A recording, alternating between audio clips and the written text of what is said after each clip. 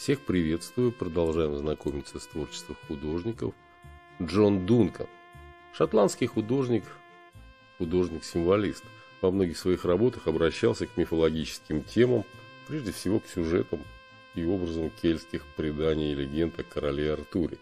Джон Маккерди Дункан родился 19 июля 1866 года в Шотландии. Его отец был скотником и мясником, но Джон не пожелал продолжить семейное дело и решил стать художником. В возрасте 15 лет он уже предоставлял иллюстрации для местного журнала, а позже был принят в газету «Данди Эвертайзер» на должность помощника в раздел новостей из мира искусства. Одновременно он учился в художественной школе Данди. В 1887-1888 годах Дункан работал в Лондоне как художник-иллюстратор, а затем отправился на континент, где учился в Антверпенской Королевской Академии изящных искусств под руководством Шарля Верла и в Дюссельдорфской Академии художеств. Я цитирую Википедию. Посетил Париж, Рим, Флоренцию и Венецию.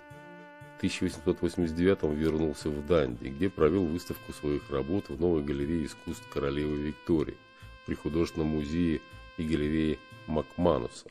В следующем году он стал одним из учредителей Ассоциации изобразительного искусства Данди, ныне художественное общество Данди. В этот период он писал портреты на заказ, что служил для него основным источником заработка. Дункан создал циклы фресок на мифологические темы, украсивших стены квартиры Гедеса и университетского общества в Эдинбургском квартале Рэмси-Гарден. В 1897 году вернулся в Данди.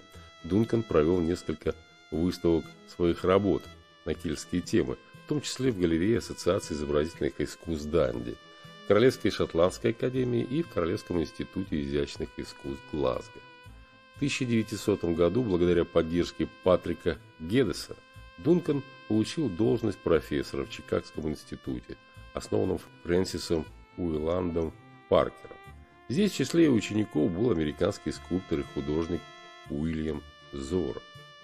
В 1890-е Дункан создал в интерьерах Эдинбургского квартала Рэмси Гарден два цикла фресок на мифологические темы. Первый был посвящен эволюции духовой музыки, второй – легендарным героям кельтов и историческим деятелям Средневековья и Возрождения, сыгравшим важную роль в интеллектуальной истории Шотландии. Кельтский цикл был дополнен в 1926 году символическими портретами пятерых великих людей, живших в новое время.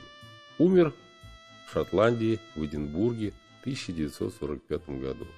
Ну так вкратце из Википедии переводной о шотландском художнике-символисте Джон Маккерди Дункан. Пока-пока, до свидания.